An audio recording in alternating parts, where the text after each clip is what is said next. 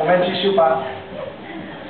好，啊，今天相信各位观众和参赛者已经迫不及待开始今天的比赛了。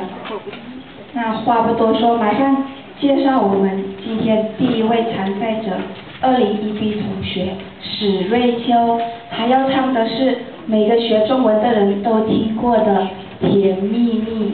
好，我们掌声欢迎他。哦